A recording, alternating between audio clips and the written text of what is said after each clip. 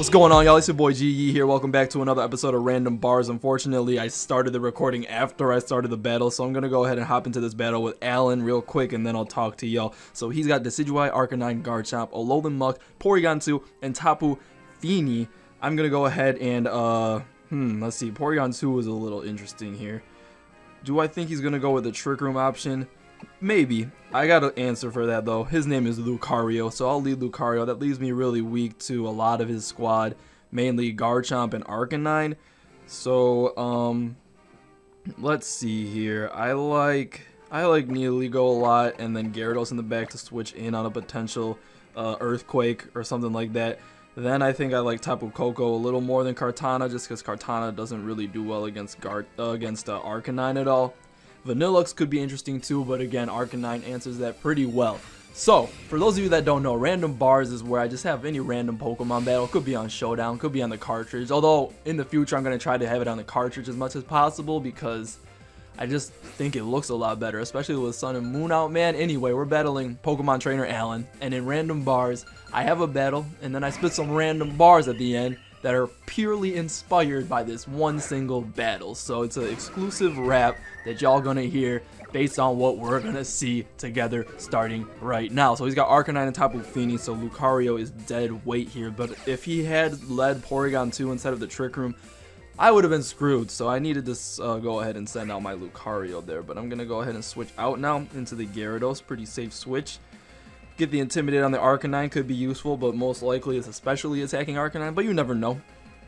And, uh, let's see, Tapu Fini and Arcanine are both weak to my stabs on Nihilego, so I think I'm gonna go ahead and go for the Tapu Fini, just because he's a little more dangerous. He can hit me with a super effective, uh, Muddy Water, or any water stab, whereas Arcanine, unless he's running Bulldoze, uh, can't really hurt uh, my mons that are switching in here. Then again, his Arcanine might know Wild Charge, so that would be scary because it could hit the Gyarados, but that would be a really, really hard read to make on turn one, and I don't think Alan's about that life, so he's gonna set up that, uh, what, which, which terrain is this called again? I don't know, it's the, it's the Tapu Fini one where you don't get status by anything. He's gonna switch out his Tapu Fini though, fearing my Sludge Bomb, going into his Garchomp, good play, avoiding the ever so important Intimidate too, but my bomb is to hit him up and break that potential Sash. Probably not Sash though, not a lot of people run Sash anymore. He flamethrowers into the Lucario, so not a bad turn at all for me. I would have really liked to get the Intimidate off on that Garchomp, but uh, at least I got some chip damage off on him, and I'm in a pretty good position here. Both of my Mons pressure his Arcanine severely, and he showed the flamethrower so I highly doubt he's running any form of wild charge so I don't have to worry about that. I do however have to worry about Garchomp going for an earthquake here. So I'm just gonna go ahead and dragon dance up not even allow him to uh, get an earthquake up because I'm gonna protect my Nihilego here and uh, Dragon Dance, so now both of my mons will outspeed the Garchomp, unless of course he's running uh, Scarf Chomp, which I guess we'll find out here. But I'm going to protect my Nihilego and boost up with my Gyarados plus one. He switched his Arcanine out though, which is kind of scary as he rock slides here.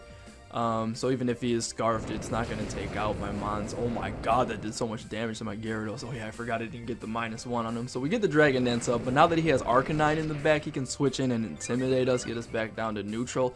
But I think it's more important that we outspeed him, honestly.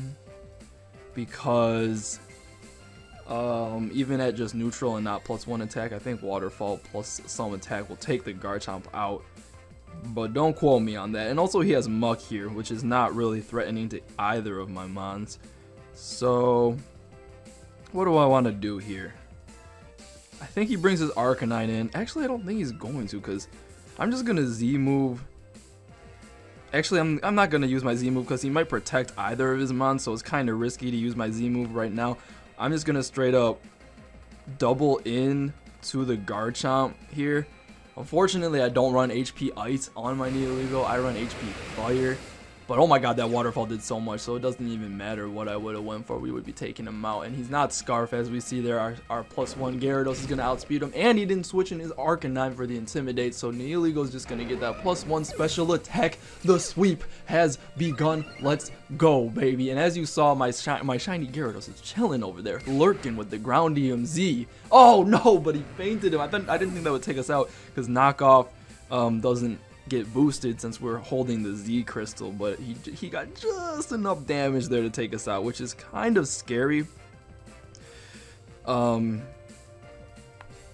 because my my my Gyarados was running the ground crystal, whatever it's called, Tectonic Rage. So I could have O-code that Muk. Even with Arcanine coming in here for the Intimidate, I definitely would have taken out that Muk because I already had the Dragon Dance boost. So if I could have just lived that knockoff, that's why getting the Intimidates are so important. Because knockoff minus one does nothing to my Gyarados, but he got in after the Intimidate, was able to do a little bit more damage. So I'm going to go ahead and follow me here with Lucario just to lure him, bait him in, you know what I'm saying?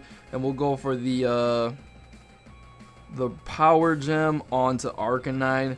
I think, eh, he might he might just he might just attack with Arcanine, wanting to take the Lucario out. No, he protects. He makes the smart play and protects. However, um, I'm Sash, so no matter what attack this Muk went for, I'm going to be able to survive it. And I'm assuming this Arcanine will outspeed the Lucario, so I should be safe from whatever he wants to attack with. He's going to go for the knockoff on Muk. That's not going to do anything, and he's lucky I'm not justified, or I would have gotten a big damage close combat off on him. But anyway, go ahead and follow me again. I, am thinking he probably went for the knockoff onto Nihilego, but I'm just going to Power Gem here into Arcanine. Let me make sure he doesn't have any...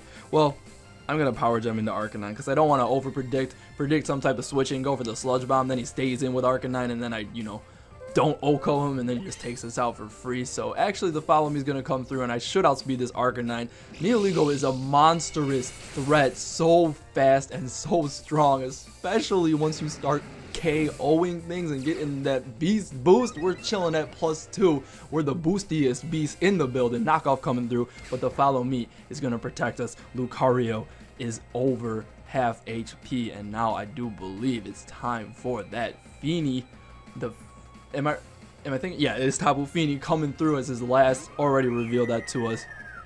That's gonna be another KO for our. Oh my God, this is awesome because uh, I can just maintain my safety. Keep going for follow me over and over again. Stop this Muk from hurting me too bad.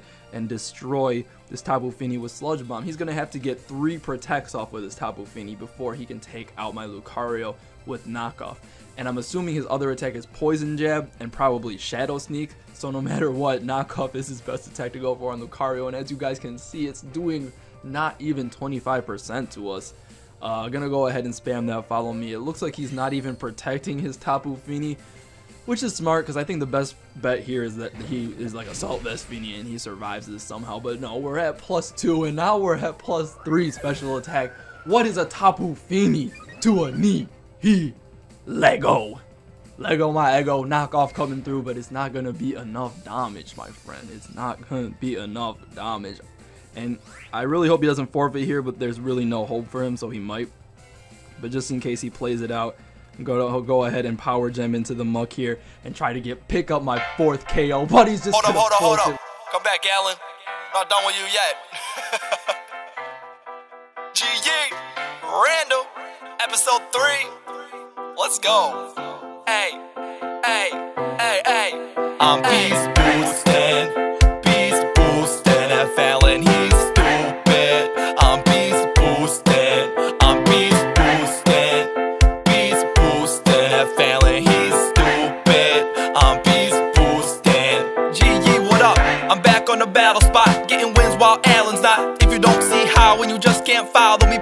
should've never ran amok All you rappers suck, I'm a plus three savage, bruh. Forfeit cause you had enough. All I gotta do is press one button, yeah it's point and click. And I ain't talking about a camera, but I'll stamp on a beat Man, team stack, Dylan's gonna need Satch if he's trying to mess with me. Cause maybe if this D-bag's weak ass mind said some defense They wouldn't let me get to three, so well then rest in peace? They callin' G-Ye, young beast